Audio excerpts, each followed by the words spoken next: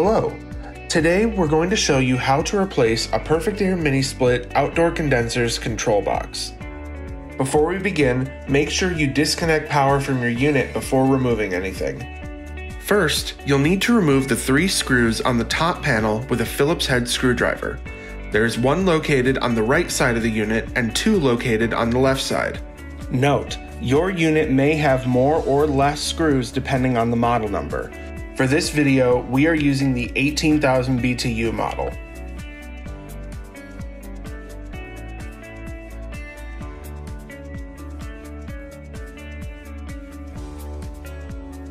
Next, remove the top panel and place it to the side. Now, you'll need to unscrew the condenser's front panel. There are eight screws you'll need to remove. Three on the left-hand side of the unit, three at the top of the front panel, and two at the bottom of the panel.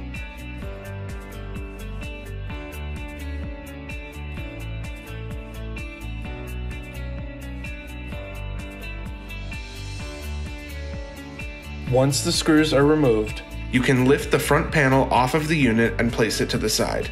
Before disconnecting any wires or plugs, make sure to take photos so that you can put everything back together the way it was. Unplug the compressor. Use a thin screwdriver to push the clip holding the plug in place, then pull it free. Next, use a pair of needle nose pliers to unplug the two wires leading to the reactor. Grab the plugs near the base to loosen them and make them easier to remove. Unscrew the two screws on the bottom of the electrical panel cover and pull it free.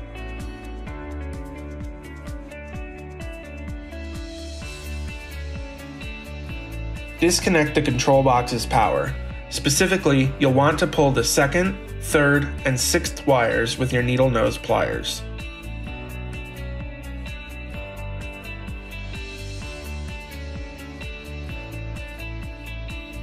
unscrew the two grounding wires. There's one attached at the top right corner of the electrical panel,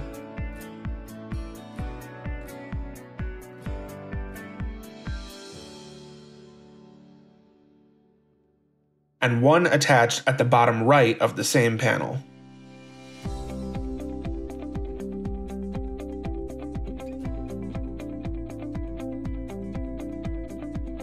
Remove the screw holding the control box in place on the bottom using a stubby screwdriver.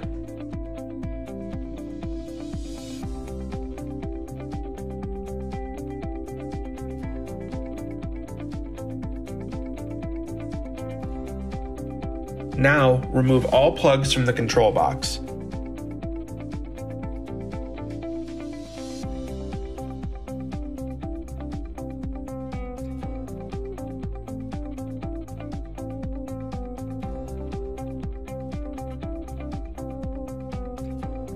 For the wide plug that goes to the fan motor, to make it easier, use a small screwdriver to lift the clip on the other side.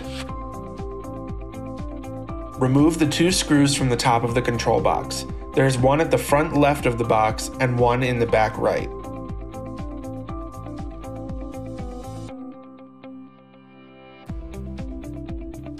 Now, carefully remove the control box, making sure you haven't left any plugs connected. Then you're ready to insert the new box.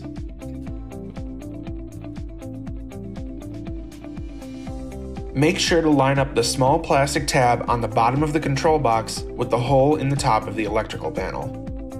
Replace the bottom screw while holding the box in place.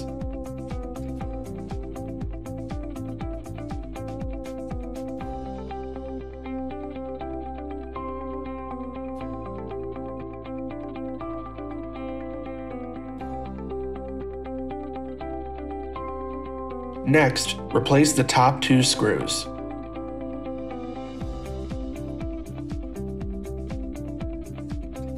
Reattach all wires and plugs. Be sure to refer to your reference photos if you can't remember where a plug or wire should go. And don't worry, for your convenience, every plug is color coded and only fits in its respective slot.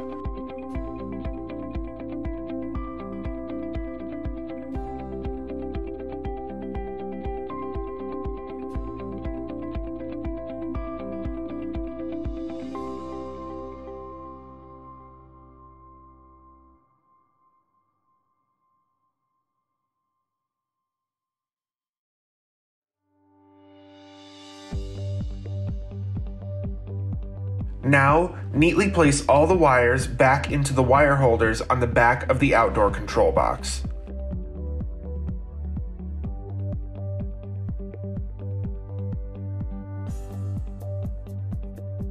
Now replace the top and front panels on the unit.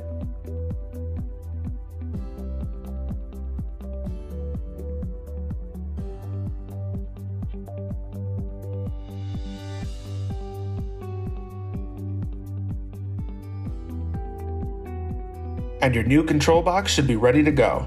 Thanks for watching.